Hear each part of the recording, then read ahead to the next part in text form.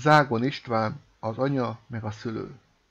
Ez a két fogalom alapjában véve ugyanazt jelenti. De azért valahogy mégsem ugyanaz. Olyan különbség van köztük, mint, hogy is magyarázzam csak ezt, mint amikor az ember azt mondja állam, meg azt mondja haza. A hazáért élek és halok, az államnak adót fizetek.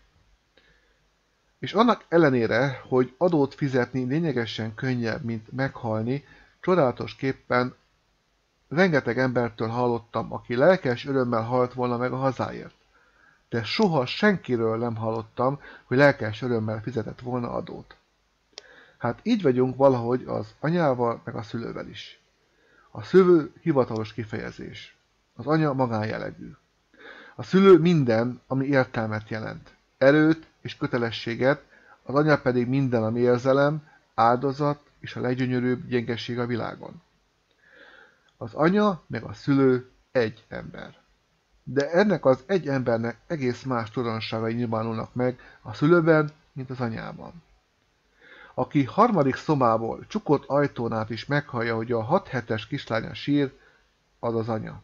Aki szeretne azonnal berohanni hozzá, és egy kis jó langyos tejecskével elcsitítani azt a kis ártatlankámat, az is az anya.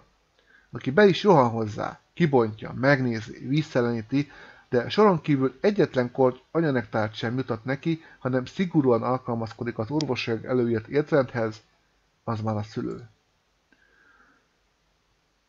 Akinek majd a szíve szakad ki, amikor a gyereknek fogzási fájdalmai vannak, az az anya.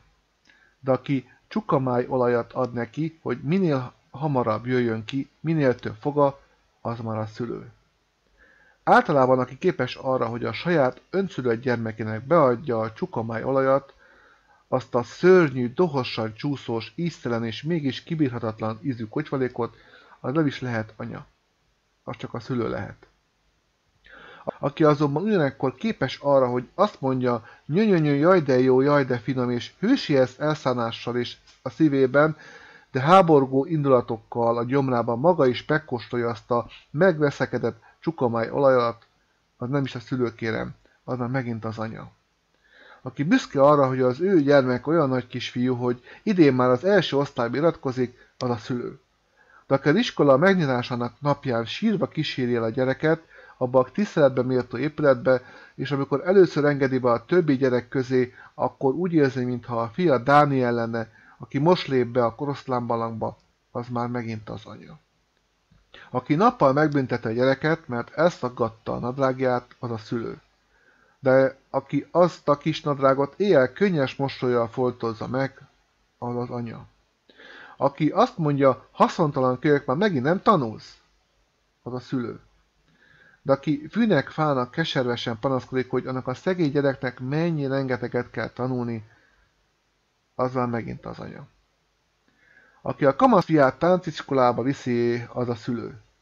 Aki büszkén figyeli, hogy az a haszontalan kölyök milyen ügyesen teszi már a szépet ennek vagy amannak a kislánynak, az még mindig a szülő. De aki ugyanekkor nagyokat nyel, mert úgy érzi, most kezdik el szakítani lelkétől elkedzett magzatát, és tulajdonképpen legjobban szeretné a fia táncpartnerét, azt a kacét kis szőket, démon növedéket megpofozni, az már megint az anya. És mégis az anyából lesz a jó anyós, a szülőből a rossz, amely anyósi állapot tart mindaddig, ami meg nem születik az első unoka.